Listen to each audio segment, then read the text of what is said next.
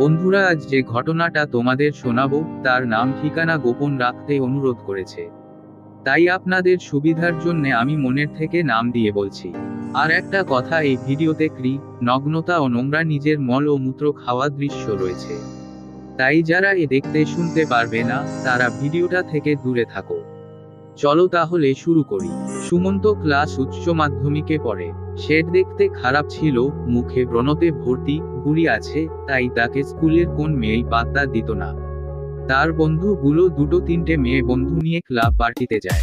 সে দেখে কষ্ট পায়। তবে তার বিভাগের চন্দনাকে খুব ভালো লাগতো, কিন্তু তাকে বলতে পারতো না, কারণ আগে তিনটে মেয়ের থেকে রিজেকশন পেয়েছে। আর সুমন্তের বন্ধুগুলো প্রচুর খেপায় তাই চন্দনাকে বলেনি। একদিন চন্দনার আর সুমন্তের কমন ফ্রিয়েন্ডের বেটেজ ডে পার্টিতে যায়। সেখানে চন্দনা প্রচুর ড্রিঙ্ক করে।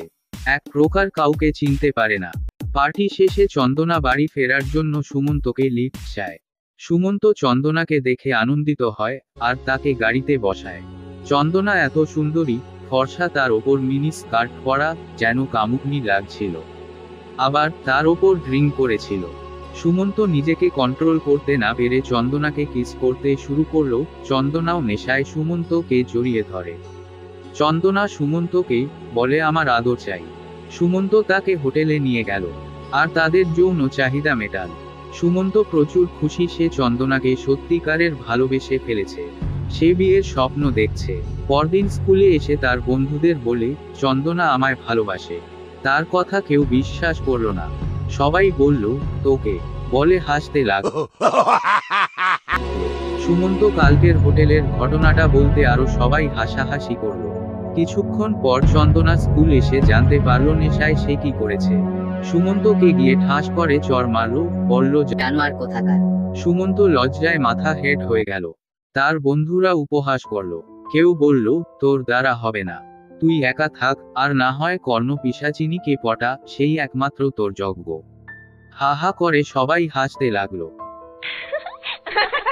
সুমন্ত লজ্জায় স্কুল যাওয়া বন্ধ করে দেয় আর কর্ণ পিসাচিনীকে এই নিয়ে রিসার্চ করতে লাগে।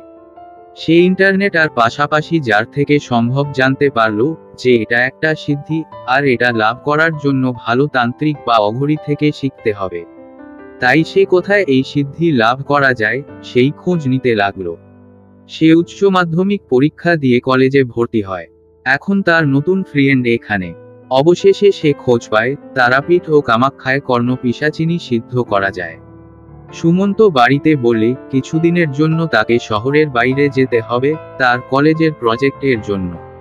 এই বলে সে তারাপীঠ চলে আসে। এখানে এক অঘরীর সঙ্গে পরিচয় করে, তার সঙ্গেই থাকে।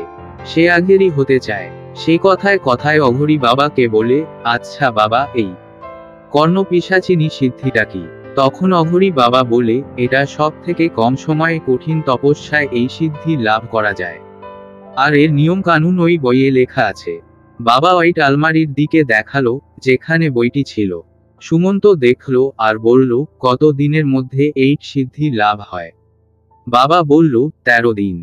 তারপর সুমন্ত ওই আলমারির কাছে গেল, বইটা এক দৃষ্টিতে দেখতে থাকল। কিছুদিন এইভাবে কাটলো। একদিন সুমন্ত সেই বইটা চুরি করে পালিয়ে গেল।